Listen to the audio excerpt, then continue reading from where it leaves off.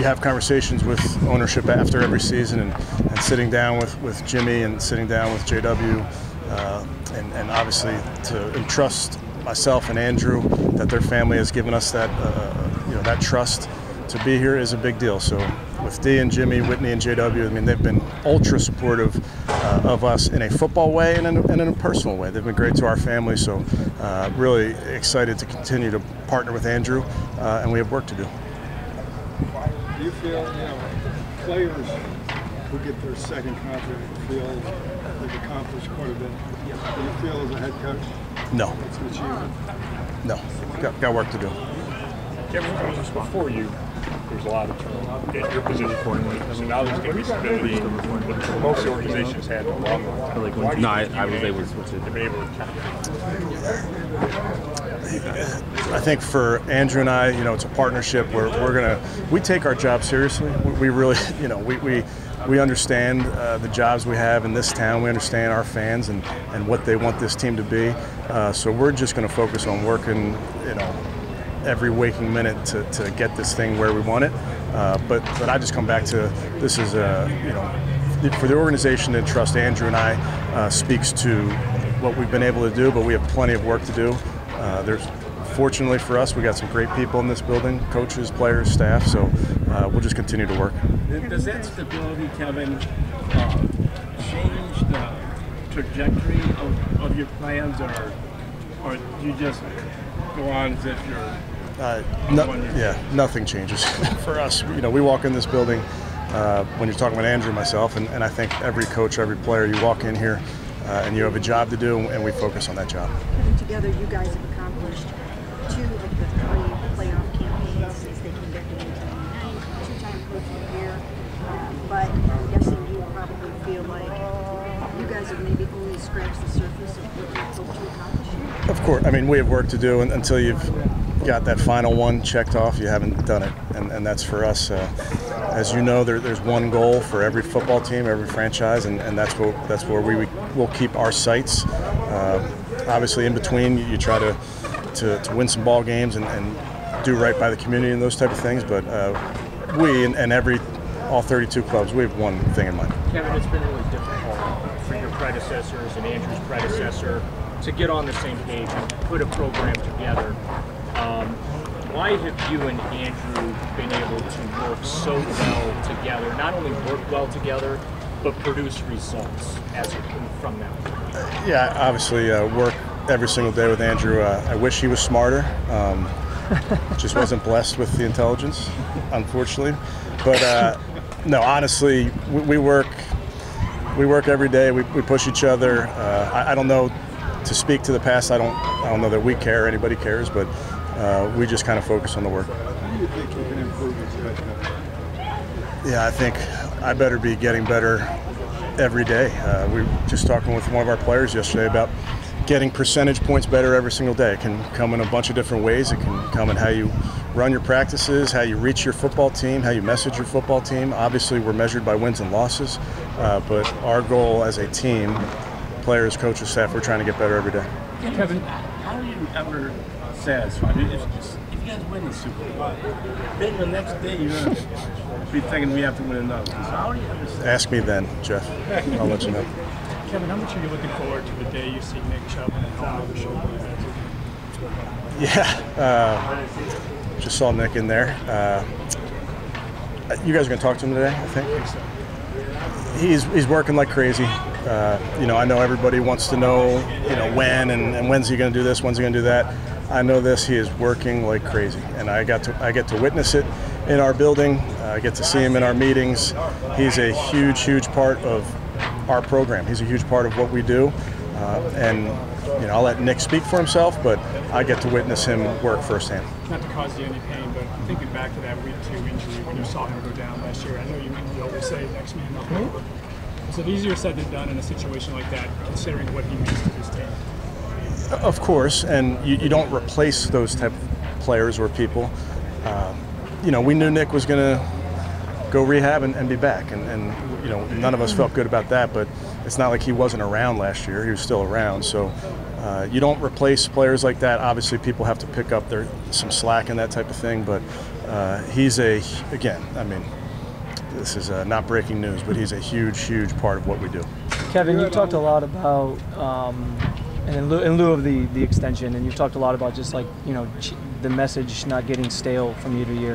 How do you go about making sure that doesn't happen? Just kind of keeping guys honed in as you start a new season, but it can't be exactly the same.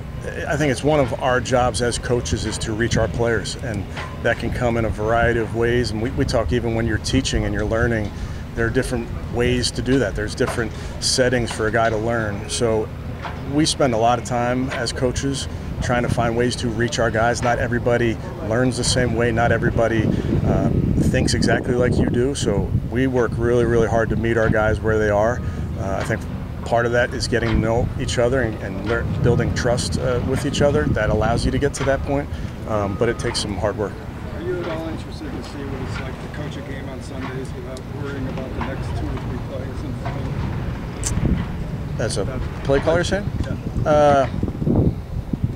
I don't know. Isn't that a new frontier? Yeah, it w- yeah, potentially. Um, not really. Honestly, that's not really our focus right now. Deshaun was calling plays in that last period. He did a pretty good job, so maybe he'll do it this fall.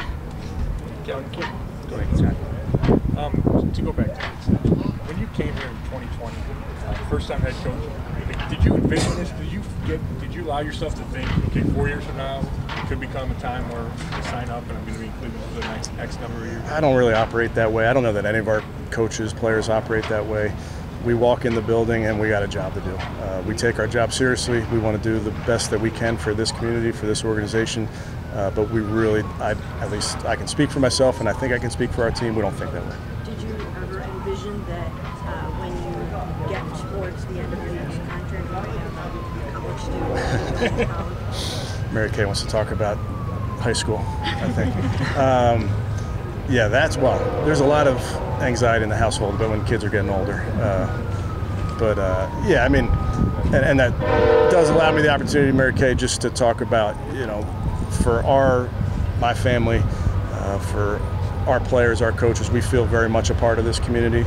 Um, as all of us know that have kids, it's it's crazy to see them grow in front of you and when you do get to some mile markers, you do reflect and look back. So certainly uh, crazy for me to think that way, but um, very, very fortunate, very, very appreciative of the support we get from this community. I know we've asked you about having Mike Vrabel in the fold here to help you out. It's one thing to be sitting in a room with him and you know have him point things out on film or whatever, but just the, the influence not only he's having on you, but the but the staff when he's out there on the field, in the middle of the drills, engaged with not only the coaches but. Yeah, Vrabes is an incredible asset uh, for us organizationally. He's an incredible asset for me. Um, I don't know what he would be doing if he wasn't here. Uh, he cannot sit on a couch, so uh, he we're getting our money's worth, and he's in every drill, and, and he's doing great in the meetings. And you know, I just uh, like I've told him, uh, he's a energy multiplier. It's fun having him around. Uh, he's a, a great great influence for our young coaches. He, he can provide some really good mentorship to our young coaches, and, and obviously he provides great value to our coaching staff as well. That was the first time we saw Dorian throw. Is, is he thrown before? Yeah, he just uh, recently got back up to throwing. And is it a similar schedule as Deshaun, kind of every other D- day? different, uh, yeah, different injury, different time frame, but we'll, we'll be smart there and just kind of do what the docs tell us. We were able to see the, uh, you know, little glimpse of the kickoff Yeah. Saw it yesterday. I think. Yeah. So now that you see it a little conceptualized on the field, you- are you any, any new feelings? No, I, I think for our players, speaking of new feelings, I think uh, they get to experience the speed of the play and how much, when you're on that kickoff team, how much sooner the return is on you. That's something that a bunch of guys have mentioned to me. Just, you know, back in the old days, you could run 30 yards and, and find the ball and start to get in your lane, and now it's just like you come out of your stance and bam, you're, you're, that play is on you. So I think they're getting a feel for that. Uh, I think the preseason will be a big deal in getting some of those reps. I think our, our practices with the Vikings out here will be helpful in that regard. Uh, but so it's, it's still a work in progress for players and coaches. So, just a couple more. Teaching style, like your teaching style of coaches. I mean, we talk about the versatility of players, and how important that is for you guys in the field. How important is versatility, for the coaching staff, and really the front office and all of that? Yeah, versatility is important, and, and you know I would point to you know we're just talking about Coach Vrabes, Coach Musgrave, guys that are on our staff that can can fill in in, in different areas and, and can assist. Uh, we've been very fortunate to have some coaches that can bounce around offense, defense, special teams, uh, and, and provide value in a bunch of different ways. Saw a couple linemen on either side of the ball on that kickoff. Um, how much does it feel like a scrimmage?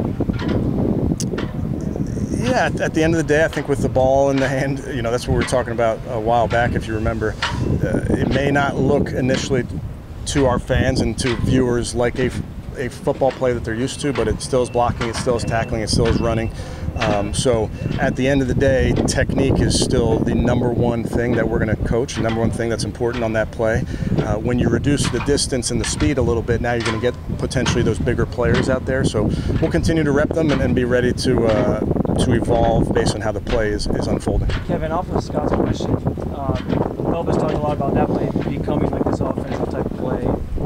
Do you see that as an opportunity, being like an offensive-minded coach? Like, are they tapping into your expertise in terms of like drawing things up and sort of making it that There, way? there are definitely things that we've sat down and talked about that maybe look like an offensive play. Uh, I know this; it's another play where offensive players can touch the ball as well. So you're going to have two guys in the landing zone, and those two guys get a, an opportunity to do something with the ball. So uh, guys, if you can believe it, often want the ball. So there's a, a play where head out there and go get the ball.